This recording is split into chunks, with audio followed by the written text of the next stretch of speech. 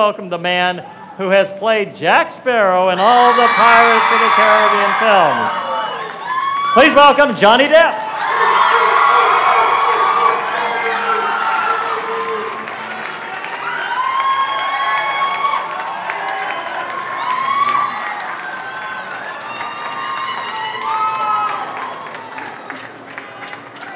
These days, the word legend gets bandied around all too easily, but not here and not today.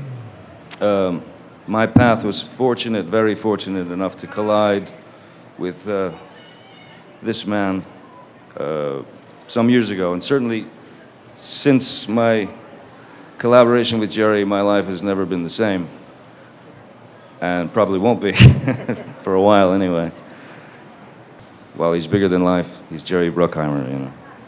But over the over the years of working together, Jerry's become a dear friend, certainly, and a, a, a, a trusted comrade in battle. Uh, there are a few people that I would rather have in my corner than this man right here.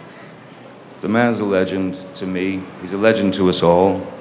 Uh, hence this, uh, hence this congregation uh, to celebrate him for his long-deserved star on the Walk of Fame.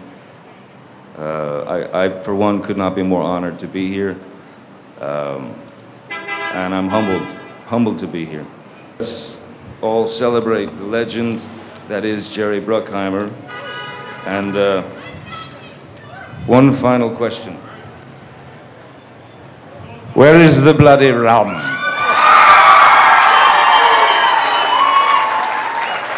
Why is the rum gone?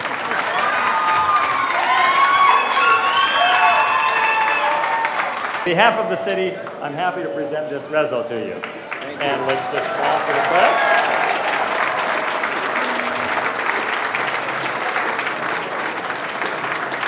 But Jerry, just by way of final introduction, in memory of our late honorary mayor and chair the, longtime chair of the Walk of Fame, Johnny Grant, we hereby declare this Jerry Bruckheimer Day in Hollywood.